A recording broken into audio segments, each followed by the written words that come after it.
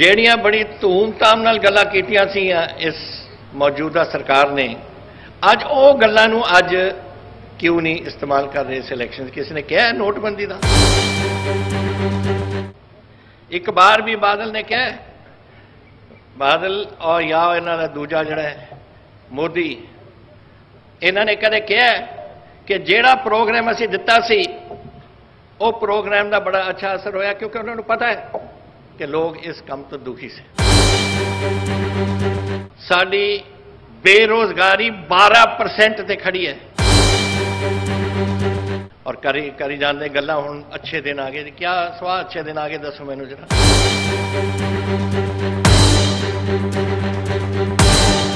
ਅੱਛੇ ਦਿਨ ਤਾਂ ਉਦੋਂ ਆਣਗੇ ਜਿਸ ਦਿਨ ਇਹਨਾਂ ਦਾ ਭੋਗ ਪਊ। ਇਹ ਤੁਹਾਡੇ ਸਾਹਮਣੇ ਅਸੀਂ ਕਰਕੇ ਛੱਡਾਂਗੇ। ਇਹਨਾਂ ਨੇ ਜਿਹੜਾ ਬੇੜਾ ਗਰਕ ਹੋ ਗਿਆ ਮੁਲਕ ਦਾ ਹੋਰ ਬਣਾਉਣਾ ਚਾਹੁੰਦੇ ਨੇ ਬਸ ਇੰਨਾ ਹੀ ਹੈ ਮੈਂ ਤੁਹਾਨੂੰ ਇਹ ਦੱਸ ਦਿੰਦਾ ਤਾਂ ਪਹਿਲਾਂ ਕਹਿੰਦਾ ਸੀ 15 ਲੱਖ ਰੁਪਈਆ ਹਰ ਕਿਸਾਨ ਦੇ ਅਕਾਊਂਟ 'ਚ ਪਾਉਂਗਾ ਅੱਛਾ ਦੱਸ ਮੈਨੂੰ ਇੱਕ ਬੰਦਾ ਦੱਸ ਦੇ ਕਿ ਮੈਨੂੰ 15 ਰੁਪਈਏ ਵੀ ਆਏ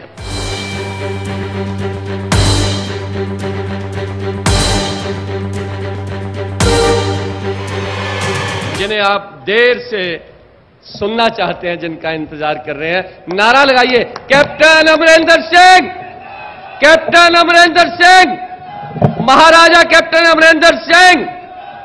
لیجیے، اب سنیے مہاراجا صاحب۔ ساڑھے ایتھے ممبر پارلیمنٹ صاحب اور آج فیر جنہ نے کاغذ بھرے نے، چودھری سنتوک سنگھ جی سارے سابقہ پردھان صاحب، پنجاب پردیش کانگریس سے مہندر سنگھ کے پی جی ਸ਼ਾਮ ਸੁੰਦਰ ਅਰੋੜਾ ਜੀ, ਸਾਡੇ ਮਿਨਿਸਟਰ ਸਾਥੀ, ਜੋ ਸਾਡੇ ਅੱਜ ਦੇ ਵਜ਼ਾਰਤ ਦੇ ਵਿੱਚ ਮੈਂਬਰ ਨੇ ਹੁਸ਼ਿਆਰਪੁਰ ਤੋਂ। ਅਵਤਾਰ ਹੈਨਰੀ ਜੀ, ਸਾਡੇ ਸੀਨੀਅਰ ਸਾਥੀ, ਸਰਦਾਰ ਅਮਰਜੀਤ ਸਿੰਘ ਜੀ ਸਮਰਾ, ਰਾਣਾ ਗੁਰਜੀਤ ਸਿੰਘ ਜੀ, ਚੌਧਰੀ ਸੁਰ- ਸੁਰਿੰਦਰ ਸਿੰਘ ਜੀ, ਸਰ ਪ੍ਰਗਟ ਸਿੰਘ ਜੀ, ਸਾਰੇ ਸਾਡੇ ਐਮਐਲਏ ਸਾਥੀ ਨੇ। ਅਵਤਾਰ ਹੈਨਰੀ ਜੂਨੀਅਰ ਜੀ, ਇਹ ਵੀ ਸਾਡੇ ਨਾਲ ਸਾਥੀ ਨੇ। ਰਜਿੰਦਰ ਬੈਰੀ ਜੀ ਲਾਡੀ ਸ਼ੇਰੋਵਾਲੀਆ ਜੀ ਸੁਸ਼ੀਲ ਰਿੰਕੂ ਜੀ ਔਰ ਵਿਕਰਮ ਜੀ ਜਗਬੀਰ ਬਰਾੜ ਜੀ ਬਲਦੇਵ ਰਾਜ ਜੀ ਸਰ- ਬਲਦੇਵ ਦੇਵ ਜੀ ਜੋ ਸਾਡੇ ਡੀਸੀਸੀ ਅਰਬਨ ਦੇ ਨੇ ਸੁੱਖਾ ਲਾਲੀ ਜੀ ਡੀਸੀਸੀ ਰੂਰਲ ਦੇ ਜਗਦੀਸ਼ ਰਾਜਾ ਜੀ ਸਾਡੇ ਮੇਅਰ ਸਾਹਿਬ ਔਰ ਜਸਲੀਨ ਸੇਠੀ ਜੀ ਸਾਡੇ ਮਹਿਲਾ ਦੇ ਅ, ਪ੍ਰਧਾਨ ਸਾਹਿਬਾ। ਔਰ ਅੱਜ ਇੱਥੇ ਬਿਰਾਜਮਾਨ ਸਾਰੇ ਮੇਰੇ ਸਾਥੀਓ ਜੋ ਸਟੇਜ ਤੇ ਹੋ ਔਰ ਇੱਥੇ ਬਿਰਾਜਮਾਨ ਮੇਰੇ ਵੀਰੋ ਤੇ ਭੈਣੋ, ਅੱਜ ਬੜੀ ਖੁਸ਼ੀ ਦਾ ਦਿਨ ਹੈ ਕਿ ਪੰਜਾਬ ਦਾ ਪਹਿਲਾ ਕਾਗਜ਼ ਜਿਹੜਾ ਅੱਜ ਨਾਮਜ਼ਦ ਕੀਤਾ ਹੈ, ਇਹ ਸਾਡੇ ਚੌਧਰੀ ਸਾਹਿਬ ਨੇ ਇੱਥੇ ਕੀਤਾ ਹੈ। ਕੱਲ ਤੋਂ ਬਾਅਦ ਦੋ ਦੋ ਹੋਣਗੇ ਡੇਲੀ ਕਿਉਂਕਿ ਟਾਈਮ ਬੜਾ ਘੱਟ ਹੈ। 7 ਔਰ 8 ਤਰੀਕ ਨੂੰ 27 ਤੇ 28 ਨੂੰ ਛੁੱਟੀ ਹੈ। ਤਾਂ ਬਸ ਰਹਿ ਗਿਆ 23 24 25 26 ਔਰ 29 ਔਰ ਅਸੀਂ 12 ਕਾਗਜ਼ ਭਰਨੇ ਨੇ ਹੋਰ। ਤਾਂ ਡੇਲੀ ਹੁਣ ਦੋ ਦੋ ਗੇੜੇ ਲੱਗਣਗੇ ਦੋ ਦੋ ਜ਼ਿਲ੍ਹਿਆਂ 'ਚ। ਇਹਨੂੰ ਪੂਰਾ ਕਰਨ ਲਈ। ਲੇਕਿਨ ਮੈਨੂੰ ਖੁਸ਼ੀ ਹੈ ਅੱਜ ਕਿ ਇਸ ਖੁਸ਼ੀ ਦੇ ਦਿਹਾੜੇ ਤੇ ਤੁਸੀਂ ਸਾਰੇ ਉਰੇ ਆਏ ਹੋ। ਇਹਨਾਂ ਨੇ ਕਿਹਾ ਸੀ ਕਿ ਕੈਪਟਨ ਸਾਹਿਬ ਸਾਨੂੰ ਜਿਤਾਉਣਗੇ, ਮੈਂ ਕੈਪਟਨ ਸਾਹਿਬ ਨਹੀਂ ਕੋਈ ਜਿਤਾ ਸਕਦਾ, ਇਹ ਜਿਤਾਉਣਗੇ ਜਿਹੜੇ ਸਾਡੇ ਬੈਠੇ ਨੇ ਉਹਨੇ ਇਹ ਸਾਡੇ ਵੀਰ ਨੇ, ਸਾਡੇ ਸਾਥੀ ਨੇ, ਸਾਡੇ ਫੌਜ ਹੈ, ਕਾਂਗਰਸ ਪਾਰਟੀ ਦੇ ਸਾਡੀ ਰੀੜ ਦੀ ਹੱਡੀ ਹੈ, ਜੋ ਅੱਜ ਇੱਥੇ ਬਿਰਾਜਮਾਨ ਹੋ ਤੁਸੀਂ, ਔਰ ਇਹ ਜੰਗ ਤੁਸੀਂ ਚੱਕਣਾ ਹੈ। ਔਰ ਇਹ ਜੰਗ ਜਿਹੜਾ ਹੈ, ਇਹ ਮੇਰਾ ਜੰਗ ਨਹੀਂ ਜਾਂ ਚੌਧਰੀ ਸਾਹਿਬ ਦਾ ਜੰਗ ਨਹੀਂ, ਇਹ ਸਾਡੇ ਦੇਸ਼ ਦੇ ਭਵਿੱਖ ਦਾ ਜੰਗ ਹੈ। ਇਸ ਜੰਗ ਨੇ ਇੱਕ ਹਕੂਮਤ ਬਣਾਉਣੀ ਹੈ ਔਰ ਸਾਡੇ ਰਾਹੁਲ ਗਾਂਧੀ ਜੀ ਨੂੰ ਅਸੀਂ ਪ੍ਰਾਈਮ ਮਿਨਿਸਟਰ ਬਣਾਉਣਾ ਹੈ।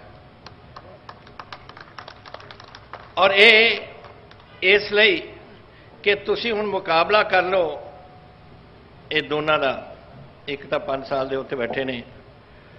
ਔਰ ਤੁਸੀਂ ਡੇਲੀ ਇਹਨਾਂ ਦਾ ਮੇਰਾ ਖਿਆਲ ਸੋਸ਼ਲ ਮੀਡੀਆ ਭਰਿਆ ਹੁੰਦਾ ਹੈ, ਅਖਬਾਰ ਭਰੇ ਹੁੰਦੇ ਨੇ, ਤੁਸੀਂ ਪੜ੍ਹਦੇ ਰਹਿੰਦੇ ਹੋ।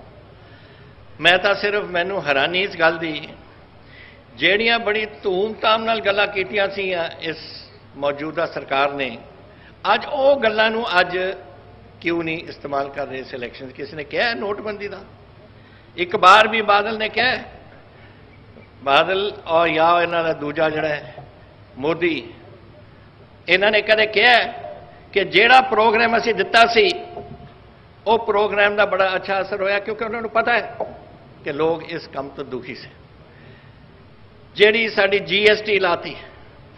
ਕੋਈ ਵਪਾਰੀ ਖੁਸ਼ ਹੈ ਜੋ ਕਹਿ ਸਕਦਾ ਮੈਨੂੰ ਕਿ ਮੈਂ ਖੁਸ਼ ਹਾਂ ਇਹਦੇ ਜੀਐਸਟੀ ਦੇ ਨਾਲ। ਔਰ ਇਹ ਇਹਨਾਂ ਨੇ ਦੋਨੋਂ ਪ੍ਰੋਗਰਾਮ ਚੱਕੇ ਸੇ ਕਿ ਬੜੀ ਤਬਦੀਲੀ ਆ ਜਾਣੀ ਹੈ ਮੁਲਕ ਦੇ ਵਿੱਚ। ਬਹੁਤ ਕੁਝ ਸਾਡਾ ਇੰਡਸਟਰੀ ਵੱਧ ਜਾਣਾ ਹੈ।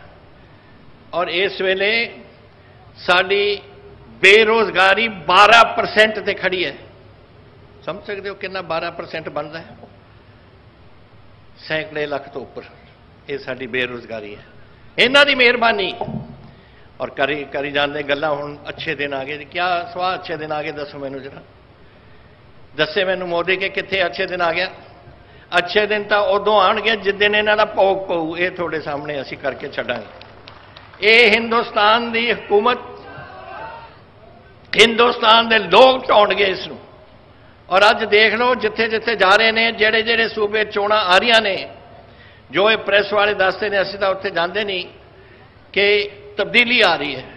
ਲੋਕ ਦੁਖੀ ਹੋ ਗਏ ਨੇ ਇਹਨਾਂ ਤੋਂ ਔਰ ਲੋਕ ਚਾਹੁੰਦੇ ਨੇ ਕਿ ਇੱਕ ਤਬਦੀਲੀ ਦੇ ਵਿੱਚ ਕੋਈ ਨਵਾਂ ਕਾਨੂੰਨ ਬਣੇ, ਨਵੇਂ ਕਿਸਮ ਦੀਆਂ ਸਕੀਮਾਂ ਬਣਨ ਸਾਡੇ ਦੇਸ਼ ਦੇ ਭਵਿੱਖ ਵਾਸਤੇ। ਇਹ ਚੀਜ਼ ਤੁਸੀਂ ਅੱਜ ਬਾਲਾ ਕੋਟ ਬਾਰੇ 12 ਬਾਰ ਬਾਰ ਬਾਰ ਤੁਸੀਂ ਇੱਕ ਗੱਲ ਚੱਕੀ ਜਾਂਦੇ ਹੋ। ਉਹ ਬਹਾਦਰੀ ਕੀਤੀ ਇੱਕ 에ਅਰਫੋਰਸ ਦੇ ਅਫਸਰ ਨੇ। ਉਹਨੇ ਆਪਣੀ ਜਾਨ ਹਥੇਲੀ ਤੇ ਰੱਖ ਕੇ ਉੱਥੇ ਆਪਣੀ ਲੜਾਈ ਕੀਤੀ, ਜੈਸੇ ਹਰ ਫੌਜੀ ਕਰਦਾ ਹੈ, ਹਰ ਨੇਵੀ ਦਾ ਉੱਥੇ ਜਵਾਨ ਜਾਂ ਅਫਸਰ ਕਰਦਾ ਹੈ, ਹਰ 에ਅਰਫੋਰਸ ਦਾ ਕਰਦਾ ਉਹਦੀ ਡਿਊਟੀ ਹੈ। ਤਾਂ ਤੁਸੀਂ ਕੀ ਕਰ ਲਿਆ ਬਈ ਕਿ ਰੋਜ਼ ਰੋਜ਼ ਤੁਸੀਂ ਅੱਜ ਫੇਰ ਅਖਬਾਰ ਦੇ ਵਿੱਚ ਸੀ? ਪਹਿਲੀ ਵੋਟ ਬਾਲਾਕੋਟ ਨੂੰ ਪਾ ਦਿਓ ਵੀ ਬਾਲਾਕੋਟ, ਇਹ ਮੈਨੂੰ ਸਮਝ ਨਹੀਂ ਆਉਂਦੀ ਹੈ ਕੀ ਕਰਨਾ ਚਾਹੁੰਦਾ ਇਹ ਮੋਦੀ ਸਾਹਿਬ ਹਿੰਦੁਸਤਾਨ ਨੂੰ ਕੀ ਕਰਨਾ ਚਾਹੁੰਦੇ, ਮੁਲਕ ਨੂੰ ਕੀ ਕਰਨਾ ਚਾਹੁੰਦੇ ਕਿ ਫੌਜ 에ਅਰਫੋਰਸ ਔਰ ਨੇਵੀ ਉਹਦੀ ਹੈ ਜਨਾਤ ਉਹ ਮੁਲਕ ਦੀ ਜਨਾਤ ਹੈ, ਸਾਡੀ ਜਨਾਤ ਹੈ, ਸਾਡੇ ਮੁਲਕ ਦੇ ਰਕਸ਼ਕ ਨੇ।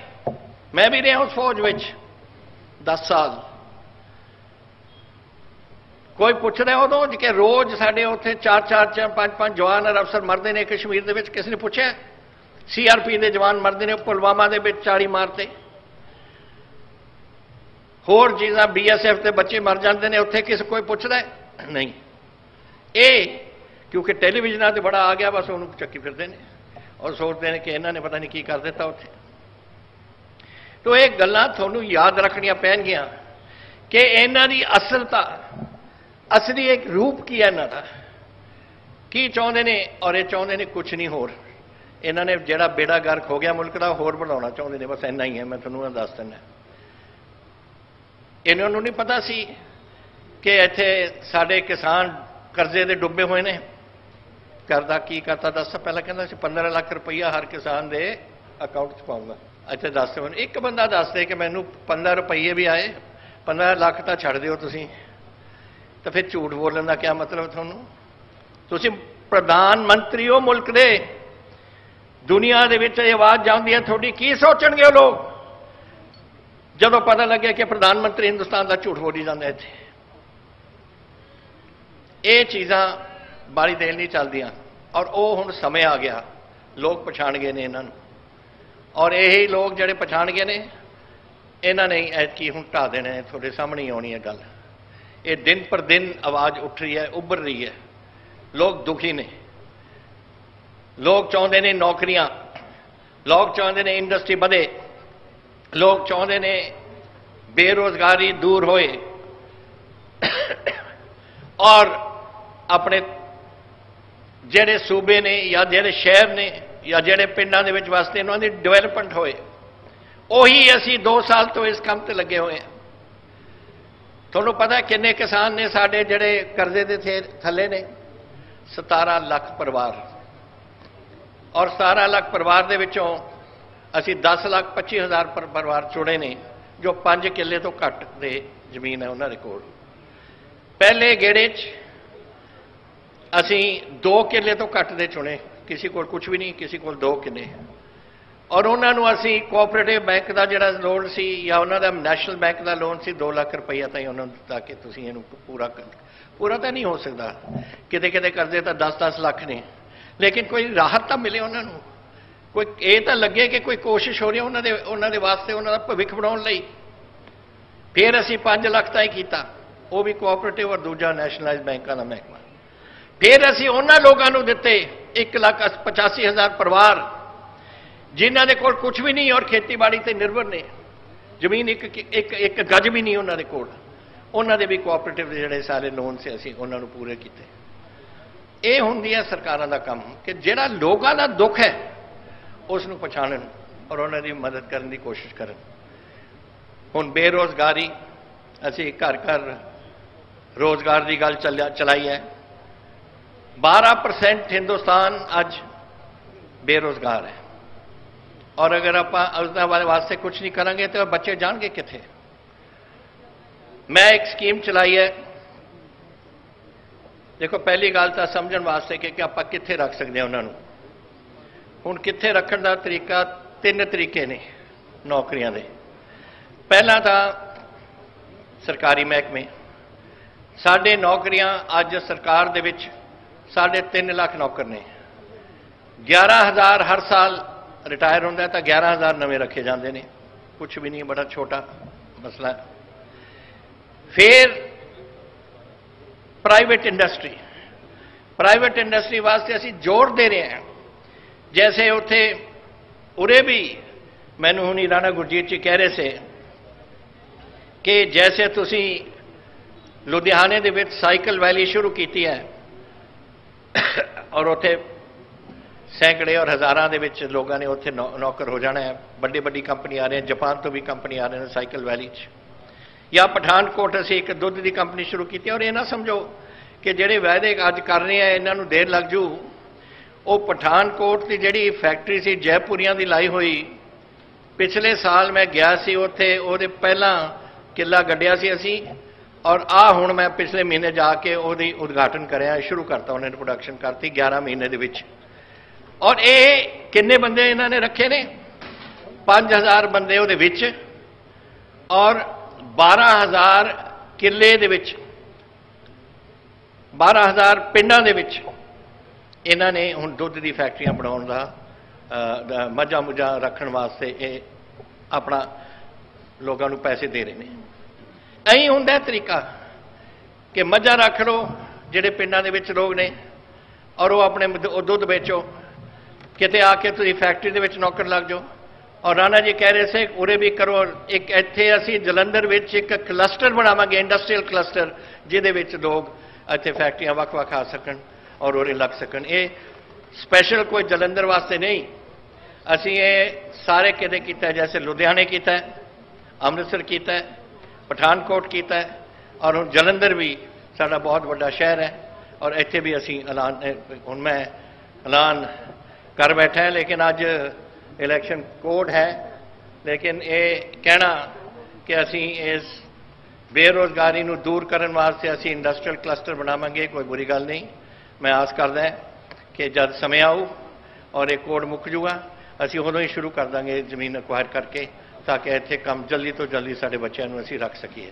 ਤੋ ਇਹ ਗੱਲਾਂ ਨੇ ਜਿਹੜੀਆਂ ਸਾਨੂੰ ਸਾਰਿਆਂ ਨੂੰ ਸੋਚਣੀਆਂ ਚਾਹੀਦੀਆਂ ਨੇ। ਹੁਣ ਮੈਂ ਜਾਣਦਾ ਮੇਰੇ ਬੜੇ ਸਾਥੀ ਨੇ ਉਰੇ, ਜਿਹੜੇ ਅੱਜ ਬੋਲਣਾ ਚਾਹੁੰਦੇ ਸੀ। ਪਰ ਕਿਉਂਕਿ ਹੁਣ ਦੋ ਦੋ ਹਲਕੇ ਮੈਥੋਂ ਸਾਹਮਣੇ ਹੀ ਜਾਣੇ 11 ਵਜੇ ਸ਼ੁਰੂ ਹੁੰਦੇ ਔਰ 3 ਵਜੇ ਮੁਕਾ ਦਿੰਦੇ ਨੇ ਇਹ ਇਲੈਕਸ਼ਨ ਵਾਲੇ। ਤਾਂ 3 ਵਜੇ ਤੋਂ ਪਹਿਲਾਂ ਸਾਨੂੰ ਕਾਗਜ਼ੀ ਕਾਰਵਾਈ ਸਾਰੀ ਪੂਰੀ ਕਰਨੀ ਪਊ। ਮੈਂ ਆਪਣੇ ਸਾਥੀਆਂ ਤੋਂ ਮਾਫੀ ਮੰਗਦਾ ਹਾਂ ਕਿ ਮੈਂ ਉਹਨਾਂ ਦੇ ਪਹਿਲਾਂ ਬੋਲ ਕੇ- ਬੋਲ ਚੁੱਕਿਆ। ਲੇਕਿਨ ਮੈਂ ਆਸ ਕਰਦਾ ਹਾਂ ਕਿ ਤੁਸੀਂ ਉਹਨਾਂ ਦੀ ਗੱਲਾਂ ਸੁਣ ਕੇ ਜਾਓਗੇ ਔਰ ਮੈਂ ਹੁਣ ਮੈਨੂੰ ਤੁਸੀਂ ਵਿਦਾ ਕਰੋ ਤਾਂ ਕਿ ਮੈਂ ਜਾ ਸਕਾਂ ਔਰ ਜਾ ਕੇ ਆਪਣਾ ਅਗਲਾ ਕੰਮ ਹੈ ਜੋ ਮੈਂ ਕਰ ਸਕਾਂ। ਬਹੁਤ ਤੁਹਾਡਾ ਸ਼ੁਕਰੀਆ, ਧੰਨਵਾਦ ਔਰ ਮੇਰੇ ਸਾਥੀ ਚੌਧਰੀ ਸਾਹਿਬ ਨੂੰ ਮੇਰੀ ਵਧਾਈ ਬਹੁਤ ਤੁਹਾਨੂੰ ਔਰ ਮੈਂ ਆਸ ਕਰਦਾ ਹਾਂ ਕਿ ਤੁਸੀਂ ਜਿੱਤੋਗੇ ਹੀ ਨਹੀਂ ਪਰ ਬੜੇ ਤਗੜੇ ਤਰੀਕੇ ਨਾਲ ਜਿੱਤੋਗੇ। ਇਹੀ ਮੈਂ ਆਸ ਕਰਦਾ ਹਾਂ। ਬਹੁਤ ਸ਼ੁਕਰੀਆ ਵਾਹਿਗੁਰੂ ਜੀ ਕਾ ਖਾਲਸਾ ਵਾਹਿਗੁਰੂ ਜੀ ਕੀ ਫਤਿਹ ਜੈ ਹਿੰਦ।